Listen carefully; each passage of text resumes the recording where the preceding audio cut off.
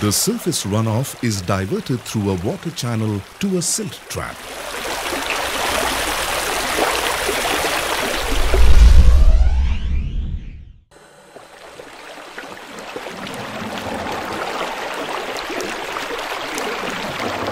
Majority of the silt, leaves, dust and debris settles in the silt trap.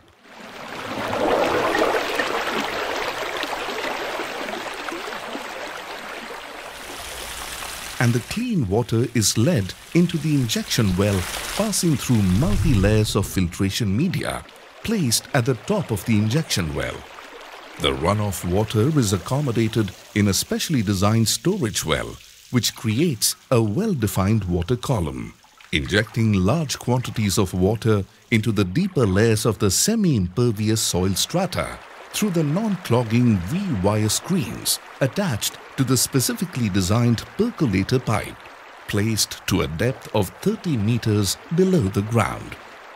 The water column and the dual V-wire screen facilitate the filtered rainwater to reach weathered and permeable zone. Thereafter, it becomes easy for the water to percolate into the deeper layer of the earth strata by capillary action through dry joints and cracks.